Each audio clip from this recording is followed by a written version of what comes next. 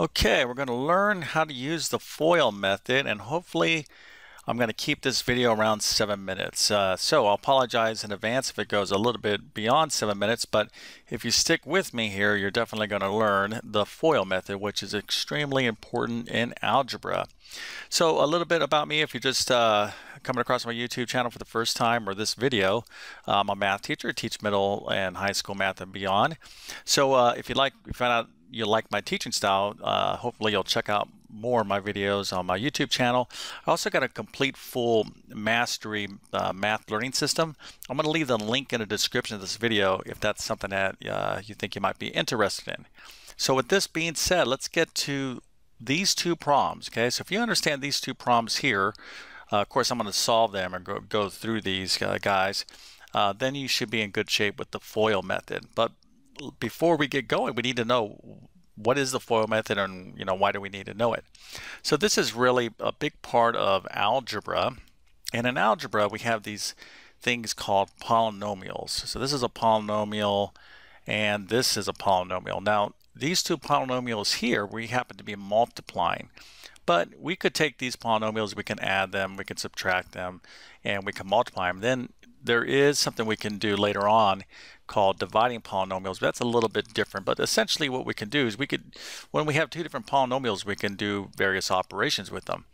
In this um, uh, situation here, we're going to be multiplying polynomials. So FOIL has to do with multiplication of polynomials, but not any kind of polynomial, okay?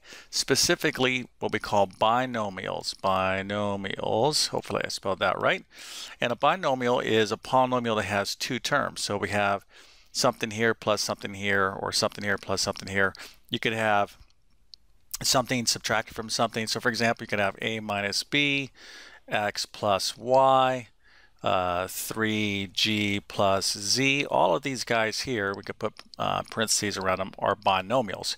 So if we take one binomial, we multiply by another binomial, the FOIL method is a specific procedure we follow to multiply two uh, binomials. Now, when you're studying algebra, you need to understand how to multiply polynomials in general. So you could have things like this, 2x uh, times 3x squared minus x plus 1. Now this scenario, this is a, what we call a monomial because it only has one term and we're multiplying it by a trinomial. So in this scenario, scenario we would not use the FOIL method. Okay, remember the FOIL method only applies to a binomial times a binomial. So here you would use the distributive property. And then if I had a binomial times a trinomial, there's other uh, methods um, that you need to learn. But the FOIL method is a very popular method. Um, and uh, with that being said, now that we know what it is, let's define this little acronym, FOIL. This really should be F-O-I-L. So the F is first, the O is outer, the I is inner, and the L is last. Okay, so I'm going to demonstrate this problem because again, my objective is to teach you this stuff in a pretty short period of time, hopefully around seven minutes, but you know, the video is no good if you don't learn anything from this, right? So the FOIL method, this is the procedure. We're going to do the first, then we're going to do the outers, and then we're going to do the inners, and then we're going to do the last. So what is the first? The first is these two guys, okay? So if you look at each binomials, the first term in each of these binomials are these. Okay, so this is the first. So we're going to multiply the first. So it's just this times this. 2x times x is 2x squared. Now, hopefully, again, if you didn't understand this, then you got to do some, uh, you know, additional review. But if you're with me so far, excellent. Now we're going to do the outer, okay? The outer. So we did the first, and we go back and just kind of keep this here. So we did the first, now we're on to the outer. So the outers are these guys. The outers happens to be, let's erase these, okay? These guys here. These are the outers. So 2x times 1. 2x times 1 is simply just 2x. Okay? So if you're with me, you're like, okay, get this. So now we're just moving on to the next one. And the next one is the inners. So what are the inners? These two guys here are the inners, right? So this is the inners. These are the outers. These are the first. Okay, so we did the first, outer, and now this is the inner.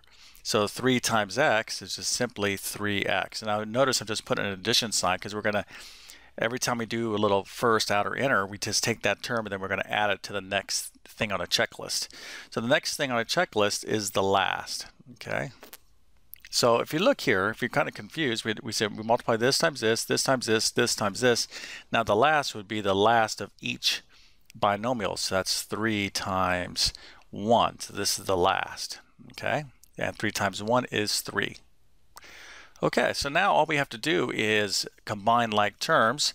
So I have 2x, got 2x squared, excuse me, and I have 2x plus 3x, which is what? 5x plus 5x, and then I just have this little 3 remaining, plus 3. So this is the product of multiplying these two guys together, okay? So we had a binomial times a binomial. Our brain said, oh, I need to use the FOIL method. First, outer, inner, last. Just do this little procedure, add everything uh, up at the end, and you're done. Okay, so if you understand that, why don't you go ahead and see if you can apply your new knowledge on this problem. Now this problem, I have some uh, uh, subtraction, some differences going on, so you got to be careful here. But if you want to pause the video and give it a, a whirl, um, before I do it. I think that's a good little pop quiz for yourself. Okay, so with that being said, I'm going to go ahead and do this now. So if you want to, if you don't want to see the solution, you might want to pause the video, but I'm going to go ahead and do it now so we can get this video done in a decent period of time. Okay, so I'm going to do the first. All right, so the first, let's just do it this way. So this is going to be first, outer, inner, and then the last, right? Okay, so uh, now I'm, concentrating on the first. So that's 3x times 2x. So that's 6x squared. Now the outer is going to be 3x times, now this is where students um, make an error. They go, oh, that's just 3x times 5. So if you said that's just 15x, you were close, okay? But you're not quite right. Well, you have to include the sign. So this is really a negative 5. So if you want to, you could think of this problem we have 3x minus 4. You could think of, think of this uh, problem this way, 3x plus a negative 4, if that helps you see that, okay? So this is really 2x plus a negative 5. So you have to include this negative sign. So this is going to be plus 3x times a negative 5, so that's negative 15x, okay? So with that being said, let's continue on with the inners. So this is like plus negative 4, right? So we have to use this negative 4 to multiply by this 2x here. So that's going to be plus negative 8x. All right, then we'll finish up with the last. That's a negative 4 times the negative 5, which is going to be positive 20. So the, the negative signs can really, you know, plenty of students you know mess up they understand the general concept but when you got some positive negative numbers going on they'll make a lot of errors and i know that from uh, many, many years of grading thousands and thousands and thousands of papers. So with that, with that being said, you get a lot of experience as a, as a teacher. And you know what? I'm sure way back many, many, many years ago when I was in school, I was making the same mistakes. But let, let's go ahead and wrap this up. So this would be 6x squared, and then we have 15 and 8 is what, uh, 23, if I didn't make any mistakes, right? So this would be uh, plus negative 23x plus 20 and then I'll be done. And you always want to write your answers in standard form. Highest power of x, so that'd be x squared, and then your middle power, and then lastly your number. Okay, so I have no idea how much time I've been on this video because uh, when I when I get going, I teach to what I think is uh, sufficient.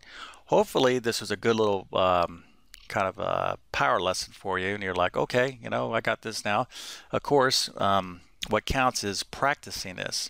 All right, you might understand these two problems in a moment, but now you actually go, you have to go and actually practice this. But if you like my um, style teaching, think you can understand from me, I definitely encourage you to subscribe to my channel. I literally have hundreds and hundreds of videos that can definitely help you out in math.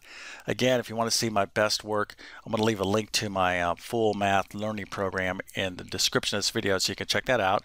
If you like this video, definitely appreciate a thumbs up and leave me some feedback. What course are you in? Are you in pre-algebra, algebra 1? That's typically where the FOIL method is kind of introduced, but you'll see it again in, in um, uh, maybe in algebra 2 Uh, but by that time, they pretty much expect you to know this stuff. But you might be a college student. You might be taking like a Math 101 or General Math, that type of thing. There's lots of different type of math courses you can be in other than, say, Algebra 1 or Pre-Algebra where you'll be learning the FOIL method, okay? Because you could be taking a, a math class that is, you know, teaching you some algebra, okay? But you might be in another class like statistics where you just need to do a quick review on this stuff. Anyways, I hope this video helped you out. Uh, I wish you all the best. Thank you for your time and have a great day.